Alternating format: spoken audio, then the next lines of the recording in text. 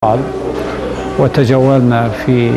مختلف الأقسام ورأينا أحدث ما توصلت له التكنولوجيا الحديثة من حيث الأجهزة وطريقة علاج المرض ولذلك أدعو المحسنين في جمهورية مصر حفظها الله وفي غيرها من الدول العربية لدعم هذا المشروع العظيم يكون الدعم من الصدقات العامة وكذلك من الزكاة حاجة العلاج حاجة ملحة ويقوم هذا المستشفى بتقديم لهم هذه الخدمة الصحية مجانا فالصرف ودفع الزكاة في هذا الباب مشروع والأخوة الذين يقومون على هذا المستشفى ثقات ذو آه، كفاءة كما سمعنا بأن تقريبا